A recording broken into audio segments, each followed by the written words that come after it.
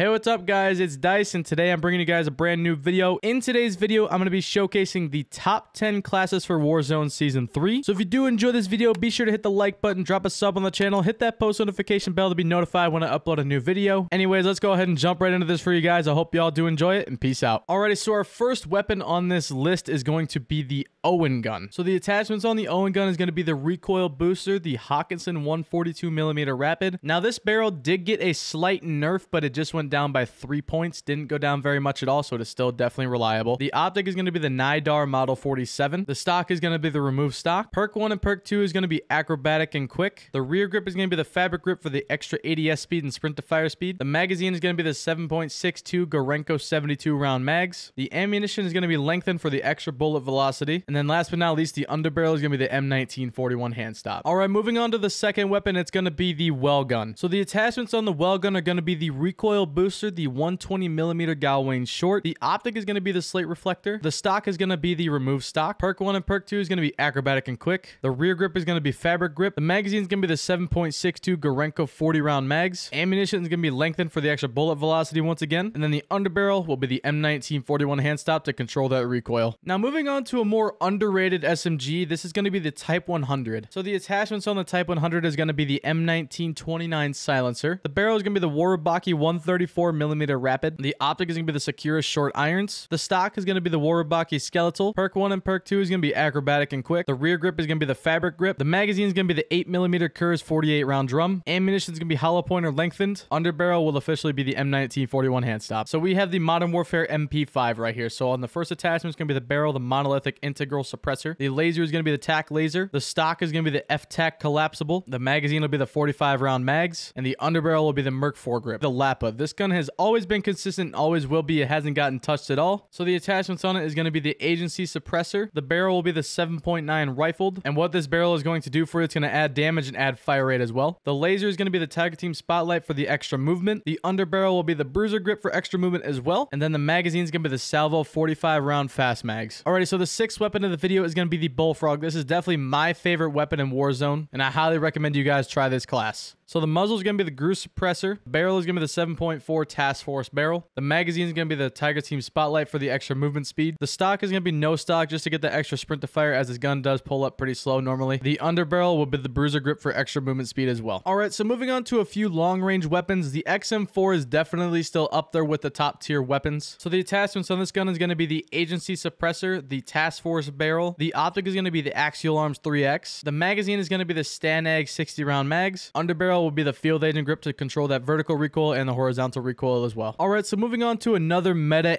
AR is definitely going to be the Cold War AK-47. The attachments on this bad boy is going to be the Gruus suppressor, the 20-inch Spetsnaz RPK barrel. The optic is going to be the Axial Arms 3X. The magazine is going to be the 60-round mags. Then the underbarrel is going to be the Spetsnaz grip for the extra horizontal recoil and the vertical recoil as well. Moving on to probably a top two AR in Warzone right now is definitely the Automaton. And here is the loadout for you guys. So we got the MX silencer, we got the Anastasia sniper barrel. The optic is going to be the SVT 40PU scope 3 to 6x zoom. The stock is going to be the Anastasia padded. Perk 1 and Perk 2 is going to be tight grip and fully loaded. The rear grip is going to be the Pine Tar grip. The magazine is going to be the 6.5 mm Sakura 75 round drum mags. Ammunition is going to be lengthened for the extra bullet velocity. Then the underbarrel is going to be the M1941 hand stop. Alrighty, and last but not least, this is definitely a weird weapon, but this gun is absolutely frying right now on Rebirth. I tried it out the other day and it was two bursting, so you definitely have to give this a shot. So the attachments on the M16 is going to be the agency silencer, the task force barrel, the optic is going to be the axial arms 3x like usual, and the underbarrel is going to be the field agent grip, and the magazine is going to be the 45 round mags. All right, guys, I hope y'all did enjoy that video. If you did, be sure to smash the like button, drop a sub on the channel if you are new as well. And as always, guys, it has been your boy Dyce, and I'm out.